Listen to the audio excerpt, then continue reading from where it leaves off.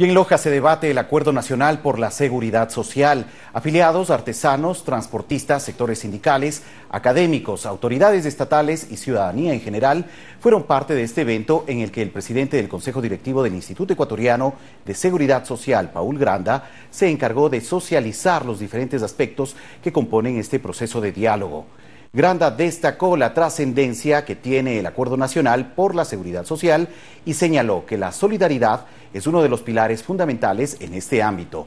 Explicó la importancia de encontrar consensos para fortalecer la sostenibilidad de la seguridad social y dijo que el acuerdo apunta a lograr el beneficio de las actuales y siguientes generaciones.